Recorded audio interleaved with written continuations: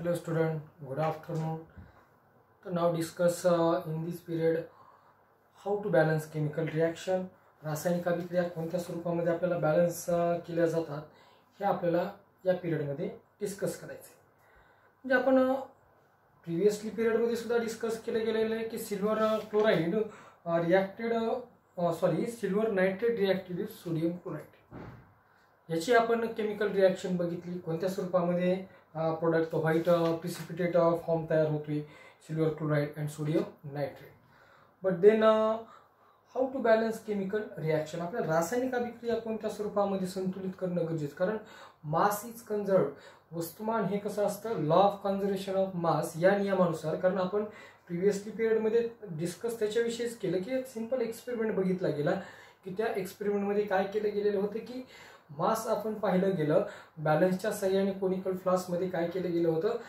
Before and after then mass is conserved हे आपल्याला finally त्याच्यामधून लक्षात आलं होतं. पण next in this period how to balance the chemical equation रासायनिक अभिक्रिया कोणत्या स्वरूपामध्ये संतुलित करावे लागतात? ते आपल्याला डिस्कस करायचे मग simple equation that is two compound that is sodium hydroxide and sulphuric acid to form two product म्हणजे एक्झामला आपल्याला डायरेक्ट अशा स्वरूपामध्ये येणार नाही पण डायरेक्ट आपल्याला काय केलं जाणार आहे की what will happen when sodium hydroxide reacted with sulphuric acid किंवा बऱ्याच क्वेश्चन मोठमोठ्या ब्रॉड क्वेश्चन असतील थ्री मार्क्स टू मार्क्स त्याच्यामध्ये सुद्धा काय करावं लागतात आपल्याला? हे जे इक्वेशन आहे ते इक्वेशन आपल्याला राईट डाऊन करणं गरजेचं ठरतं. तरच त्याला ते मोर इन्फॉर्मेटिव्ह ॲन्सर होऊ शकतं आणि ते तुम्हाला मार्क्स स्टेप बाय स्टेप देऊ शकतात. Okay student what is the molecular formula of this above compound that is sulphuric and sodium hydroxide परत पुन्हा आपण सोडियम हायड्रॉक्साईडच्या बाबतीत बघितलं तर ते त्याचं रेग्युलर नेम सुद्धा आपल्याला माहिती पाहिजे कॉस्टिक सोडा जे आपण त्याला म्हणतो.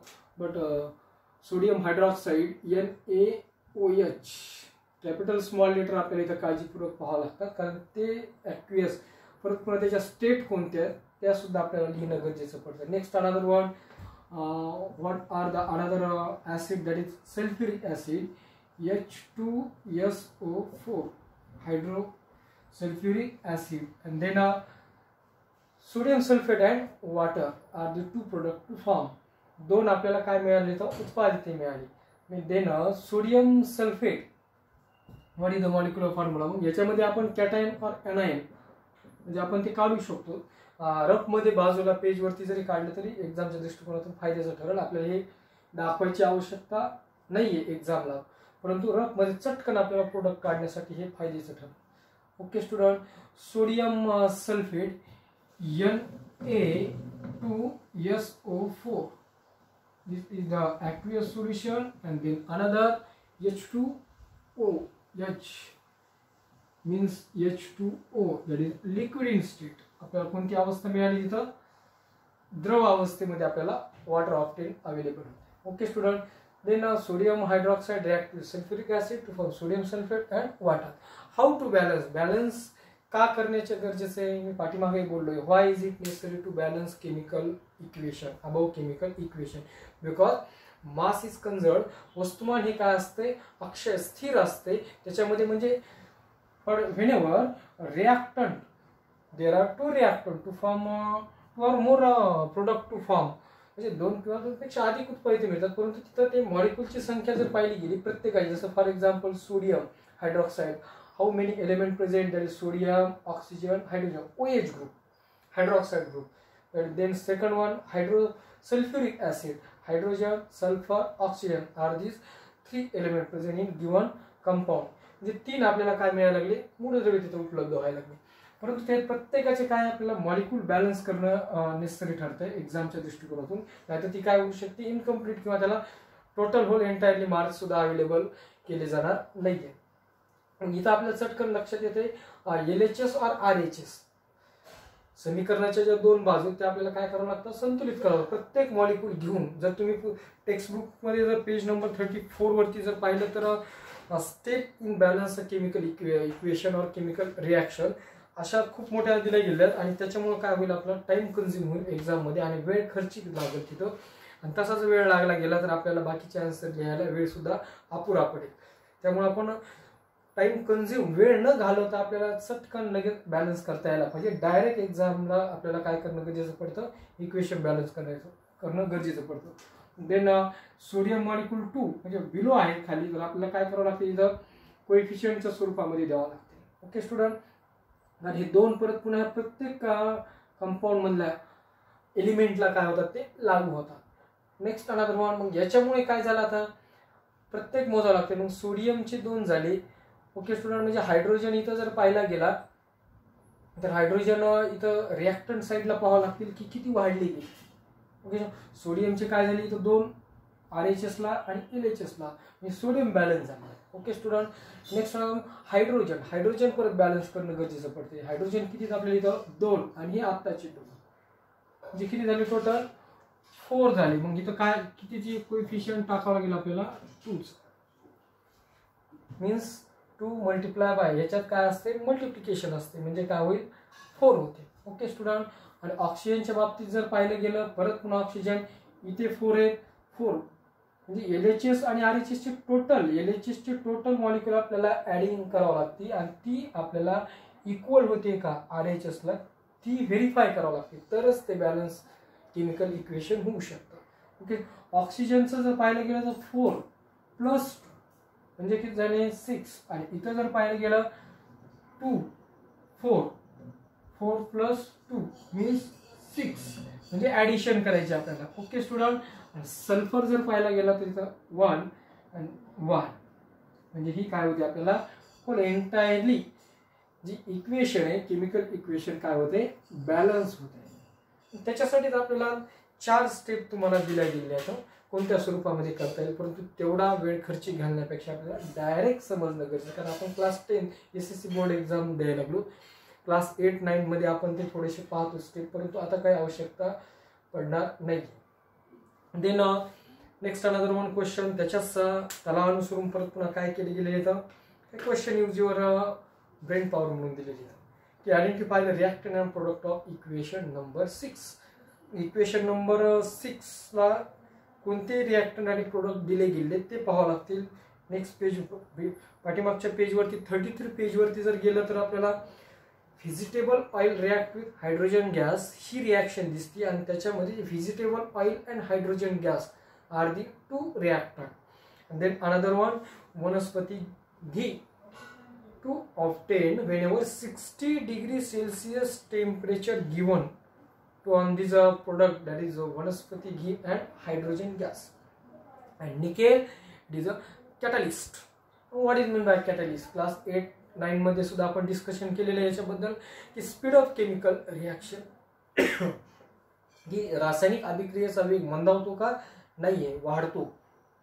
त्याला तुम्ही काय म्हणता? कॅटलिस्ट उत्प्रेरक. त्याला मराठीमध्ये जर पाहायचं झालं म्हणायचं तर. उत्प्रेरक म्हणून they do not participate in chemical reaction it's only presence the speed of chemical reaction म्हणजे नुसत्या उपस्थितीने काय होऊ शकतो? त्या रासायनिक अभिक्रियेचा वेग वाढतो आणि आपल्याला चटकन काय होते प्रोडक्ट मिळतोय. आणि ते आपल्याला विचारला गेला होता first question identify the reactant and product of equation number six next another one question write down the step in balancing the equation that is nitrogen gas react with hydrogen gas next another one chemical reaction that is nitrogen gas N two react with hydrogen gas H two आपल्याला इथं काय compound आहेत काय nitrogen oxygen it's a element are this two elements react to each other that is nitrogen and hydrogen.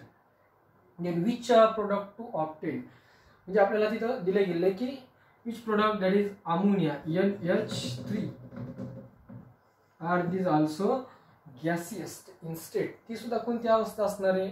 वायू अवस्थाच असणार आहे. How to balance the given above chemical reaction आपल्याला balance it's very must or important तेच आपल्याला आवश्यक ठरणार आहे. आणि बॅलन्स जर लिहिली गेली तर ती अपूर्ण ठरेल. रासायनिक अभिक्रिया एक्झामच्या दृष्टिकोनातून देखील आणि आन्सर सुद्धा तुमचं क्लेरिफाय होऊ शकत नाही. इक्वेशनच्या बाबतीत. ओके स्टुडंट चटकन आपल्याला लक्ष द्यायला पाहिजे how many nitrogen or hydrogen in L H S or R H S side nitrogen two L H S or R H S in product side one only one hydrogen two hydrogen three म्हणजे इथं आपल्याला काय करावं लागणार आहे? Nitrogen to म्हणल्यानंतर आपल्याला इकडे काय करावं? करावं लागणार आहे. हायड्रोजन जर पाहिले गेले अगोदर आपण हायड्रोजन इथं बॅलन्स करूया. हायड्रोजन हाऊ मेनी थ्री आणि इथं किती इथं? टू हे बिलो लिहिणं गरजेचं पडते गॅसियस इन स्टेट ही सुद्धा बिलो आपल्याला इट्स गरजेचं पडते there are how many that is three हे कोइफिशियंटच्या फॉर्ममध्ये मांडावं लागतं आपल्याला. नाहीतर काही स्टुडंट काय करतो वरती लिहितात. अपवर्ड और डाऊनवर्ड नाही ते काय करायचं? आपल्याला समोर रिप्रेझेंट करणं गरजेचं ठर ठरतं. Three S two okay student next one. Nitrogen. Nitrogen how many आपण जर हायड्रोजनचे जर पाहिले गेले थ्री मल्टी थ्री तीन दोन्ही सहा. मल्टिप्लिकेशन आपल्याला करावं लागेल इथं. हायड्रोजनचे किती झाले? सिक्स झाले इथं. ओके स्टुडंट आणि नायट्रोजन जर पाहिले गेले तर दोन आहे. मग आपल्याला इथं कोइफिशियंट जर दोन दिला तर काय झाले? नायट्रोजन सुद्धा बॅलन्स झाला आणि हायड्रोजन सुद्धा. हायड्रोजन किती झाले? थ्री मल्टिप्लाय बाय टू म्हणजे किती झाले? सिक्स झाले. आणि इथेही सिक्स झाले. आणि नायट्रोजन किती झाले? Two okay student means write down the step in balancing the equation step विचारले गेले होते. Step ऐवजी आपण डायरेक्ट इक्वेशन काय केले गेलेले? बॅलन्स uh, केले गेले okay student next another one तसेच काही केमिकल रिॲक्शन आहेत. आपल्याला असं प्रॅक्टिसने जसं तुम्हाला एखादा फॉर्म्युला माहीत झाला मॅथमॅटिकल आणि प्रॅक्टिसने तुम्ही सॉल्व्ह करतात त्या स्वरूपामध्ये काय करावं लागतं आपल्याला? रासायनिक अभिक्रिया रफ पेजवरती कंटिन्युअसली रिॲक्टंट घेऊन प्रोडक्ट कोणत्या स्वरूपात तयार होतात? एल एच एसचे आर एच एसचे मॉलिक्युल ॲडिंग करून मल्टिप्लिकेशन करून कोइफिशियंट लावून आपल्याला काय होऊ शकते? सहज सोडवता येऊ शकतं. नेक्स्ट अनदर म्हणून question write down a balance chemical equation for the following reaction word equation मांडलं गेलेली तुमचं.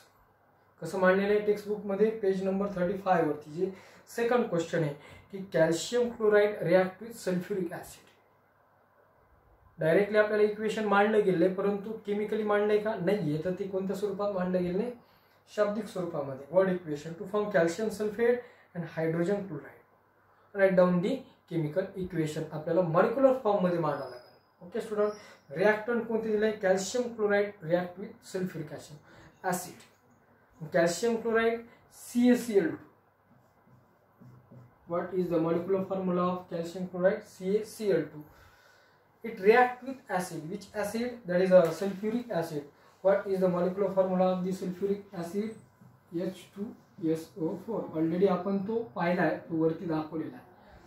कॅटाईन अनायन कॅटाईन अनायन ओके स्टुडंट हे आपल्याला दाखवायची गरज पडत नाही. एक्झाम हे रफमध्ये काढायचं परत कुणाची बॅलन्स करून घेतलेली आहे तीच आपल्याला रिप्रेझेंट करणं गरजेचं ठरतं ते आन्सर तुम्हाला क्लिअर करायचं okay student calcium sulphate C S O four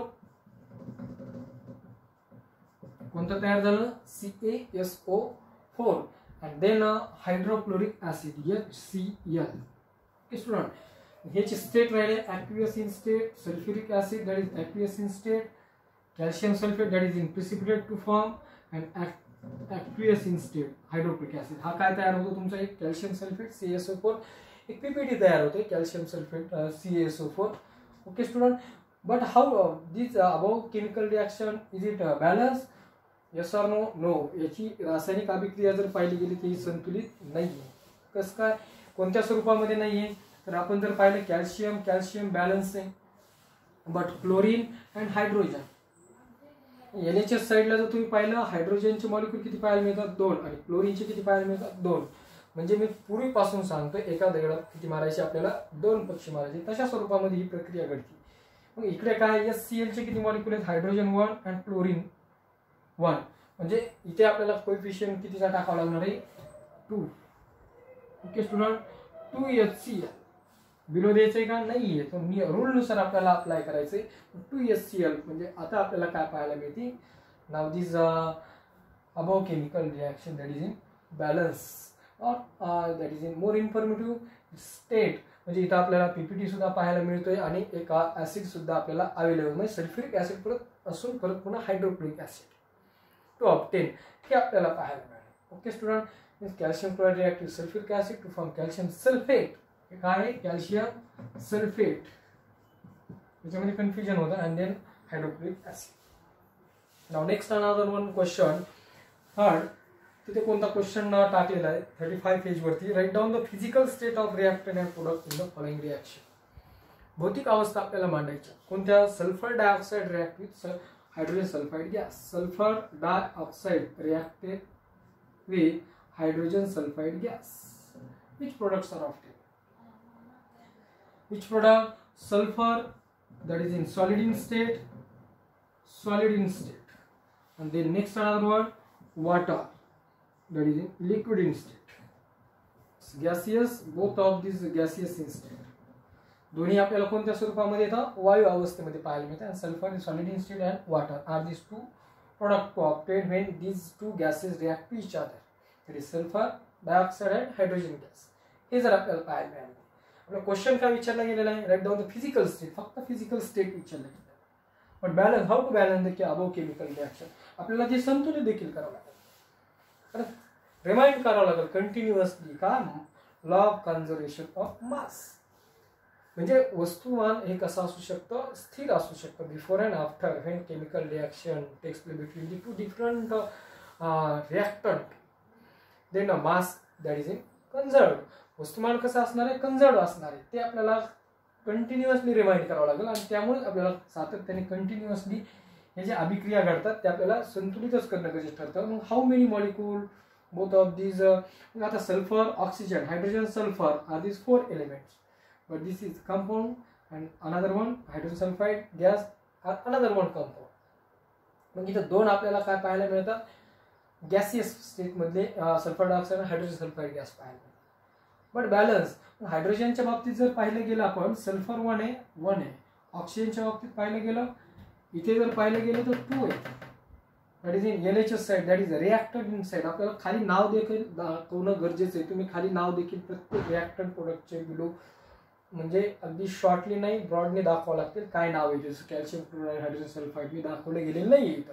जागेच्या कमतरतेने ओके स्टुडंट हे थोडंसं रिमाइंड करा continuously how many that is oxygen that is in two both of this म्हणजे ऍडिशनमध्ये सुद्धा आपल्याला ते ऍड करावं लागेल. दोन आहेत. आणि इकडे जर पाहिलं गेलं तर की तिथं ओनली वन मग आपल्याला खाली द्यायचा नियम आहे काही तर खाली? नाही. कोणत्या स्वरूपात द्यायचं आपल्याला? कोइफिशियंटच्या फॉर्ममध्ये म्हणजे टू किती झाले? Then two molecules of oxygen then balance this oxygen but परत पुन्हा एक क्वेश्चन तयार होतो तिथे. परत पुन्हा ॲडिंग कंटिन्युअसली एलिमेंटची ॲडिशन करणं गरजेचं ठरतं. कारण ऑक्सिजन आपण इथं पुढं दोन दिल्यामुळे हायड्रोजन असंतुलित होतो अनबॅलन्स्ड होतो. का? हाऊ डज दिस हॅपनिंग हे कसं घडलं? तर इथं जर तुम्ही एल एच एस साईडला पाहिलं तर हायड्रोजनचे दोनच मॉलिक्युल्स आहे इकडे प्रॉडक्ट साईडला जर पाहिलं तर किती पाहायला मिळतात? टू मल्टिप्लाय बाय टू इथं ह्याचं मल्टिप्लिकेशन होतं. एक सगळ्यात महत्त्वाचं बऱ्याच विद्यार्थ्यांना ॲडिशन कुठे मल्टिप्लिकेशन कुठे हेच लक्षात येत नाही. ते नववीपासून आठवीपासून आपण रिॲक्शन दाखवतात ओके स्टुडंट तर याचं काय झालेलं आहे? मल्टिप्लिकेशन झालं. Two multiply by two means four म्हणजे इथं किती झाले? फोर झाले. मग इथं आपल्याला किती करावं लागणार आहे तर हायड्रोजन टू झाले. मग इथं चार द्यायचे का? नाही आहे त्याला आपल्याला कोइफिशियंट मांडावं लागेल. किती? Two then balance this element that is hydrogen two multiply by four and two multiply four. Okay student hydrogen oxygen then another one element present element present about in chemical reaction that is sulphur आपल्याला sulphur का adding किंवा uh, तो balance होतोय का तो पाहावा लागणार आहे. Okay student how many that is sulphur that is two not four इथं यांचं मल्टिप्लिकेशन आहे परंतु हा सल्फर किती आहे? टूच आहे.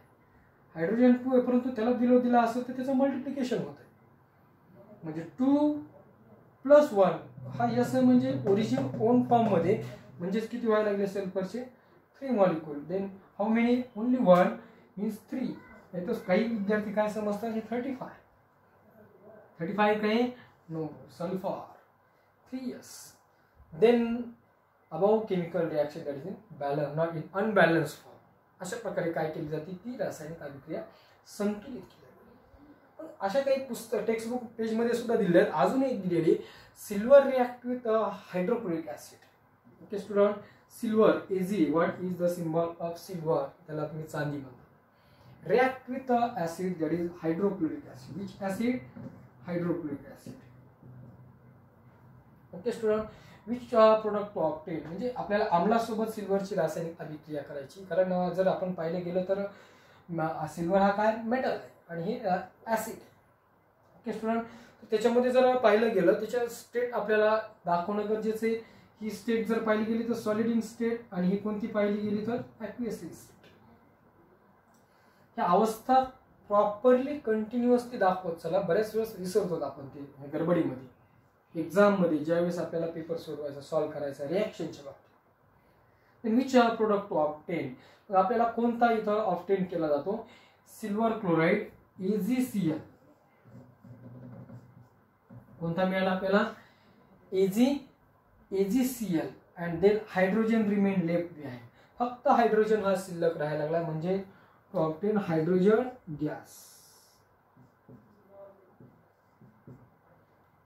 which gas that is hydrogen असे एम सी क्यू सुद्धा याच्यावर तयार होतो होऊ शकतो. Whenever when silver react with hydrochloric acid to form which gas म्हणजे कोणता वायू तयार होतो हो? त्याला ऑप्शन येऊ शकतात hydrogen oxygen nitrogen none of this or all of this तर आपल्या लक्षात येणं गरजेचं कोणता वायू आहे?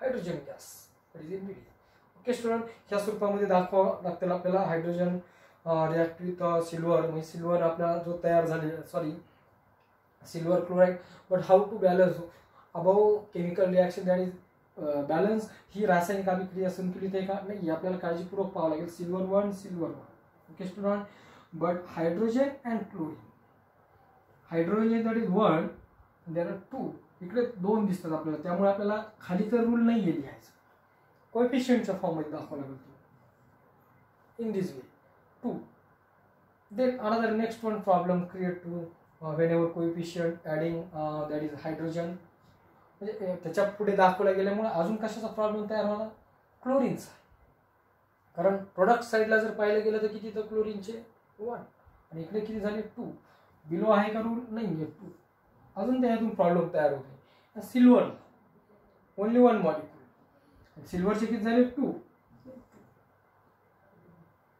ह्या फॉर्ममध्ये आपल्याला बॅलन्स करता येणं गरजेचं आहे. तरच आपली रासायनिक अभिक्रिया काय होऊ शकते? अगदी प्रॉपरली मिनिंगफुल मोर इन्फॉर्मेटिव्ह आपल्याला तयार करता येऊ शकतं. ओके स्टुडंट मीन दॅट एक लक्षात घ्या की we are saw that chemical reaction म्हणजे ज्यावेळेस रासायनिक अभिक्रिया घडतात एक्झॅक्टली त्याचा प्रॉपरली इन्फॉर्मन्स किंवा रिझल्ट काय येतोय? Reactant get converted into new one substances म्हणजे अभिक्रियाकारक येतं त्याचं रूपांतर कशात होते न्यू व्हरायटी किंवा न्यू प्रॉपर्टी नवीन गुणधर्माच्याच वेगळ्या पदार्थामध्ये काय तयार व्हायला लागली? निर्मिती व्हायला that is we call sorry that is we call product जो नवीन न्यू न्यू ओरिजिन नवीन तयार झालेला आहे. नवीन स्वरूपाचा तयार झाला आहे. ड्युरिंग दिस सम केमिकल हे आपण पूर्वी पाहिले. म्हणजे एक्झॅक्टली काय घडलेलं याच्यामध्ये? Chemical bond breakdown whenever the reactant take place different take place between these two different compound means break down the bonds and to form new one substances means bonds attach म्हणजे एक प्रकारे काय जर काय पाहिलं गेलं break down the reactant break and some new chemical bonds are form म्हणजे नवीन बंधनी काय केले जायला लागला दुसऱ्याच वेगळ्याच गुणधर्माचा पदार्थ निर्माण व्हायला लागला it mean that so has to transform reactant into the product म्हणजे रिॲक्टंटचंच कन्व्हर्जन कशामध्ये व्हायला लागले? पुन्हा प्रोडक्टमध्ये ओके स्टुडंट ह्या अशा एवढ्याच रासायनिक अभिक्रिया नाही तर टेक्स्टबुकमध्ये तुमच्या पेजेसवरती वेगवेगळ्या दिल्या गेल्या टोटल पाहिजेत म्हणजे आपल्या इथं केमिकल रिॲक्शन चेंजेस फिजिकल और chemical change then how to write chemical reaction activity पाहिली परत how to balance chemical reaction or equation कशा स्वरूपामध्ये करायचे? म्हणजे एवढ्या one two three four five म्हणजे फाईव्ह पाचच फक्त रासायनिक अभिक्रिया दाखवल्या गेल्या बोर्डवरती परंतु तुम्हाला प्रॅक्टिस करावं लागते जी रासायनिक अभिक्रिया येईल त्याची. ह्याच्यासाठी आपल्याला मॉलिक्युलर फॉर्म्युले पाठ असणं गरजेचं आहे. आणि आठवीपासून मी सांगतो की मॉलिक्युलर फॉर्म्युले पाठ करायचं. ओके स्टुडंट तरच आपल्याला रासायनिक अभिक्रिया ह्याला सूत्रपाठ नसतील. जसं मॅथ मॅथमॅटिक्समध्ये तुम्हाला सॉल्व्ह करायचा प्रॉब्लेम तर तुम्हाला फॉर्म्युला रिमाइंड होणं गरजेचं तसंच आपल्याला इथं तुम्हाला मॉलिक्युलर फॉर्म्युले रिमाइंड होणं गरजेचं आहे. तरच तुम्हाला काय करता येऊ शकतात इक्वेशन रिप्रेझेंट करता येऊ शकते. Properly more informative okay student तर आपण या या पिरियडमध्ये इतकंच पाहूया. Next another another one period to detail about these types of chemical reaction okay student त्याच्याविषयी डिटेल आपल्याला स्टडी करायचं आहे.